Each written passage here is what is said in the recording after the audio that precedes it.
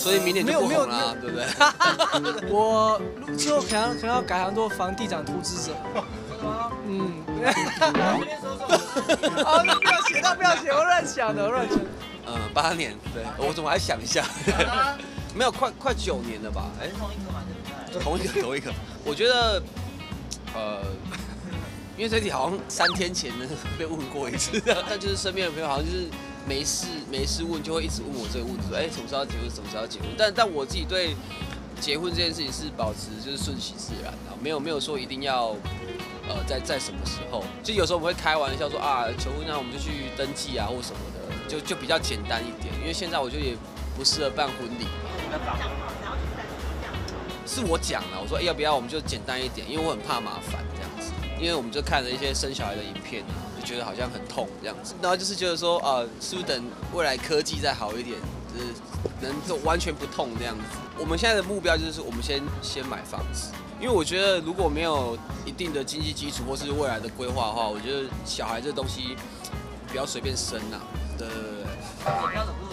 好来，没关系的，OK。我想法跟他一样，就先赚多点钱，然后对比较，我们都比较求稳的。求稳，对对对。所以明年就不红了，对不对？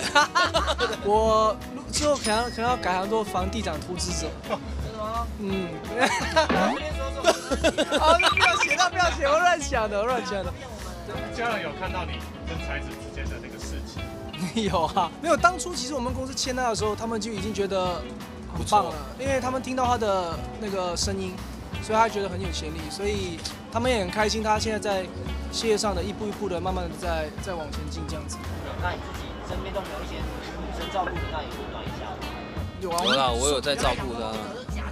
这不假的。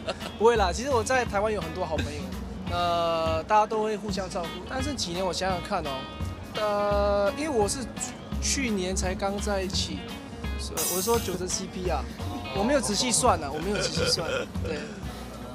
我们明天可能要再见面，我们是，我们天天都要见面，所以要留一些，要留一些问题给明天。谢谢大家，也是真的要保护嗯。过年会跟那个陈立飞一起回高雄吗？有可能，开始也是高雄。哦，我我可以可以，我大应该是会跟伟鸿过了，看他要去哪里，我们会可能可能围绕着台湾，看到处去玩这样子。对，还没有仔细想，对。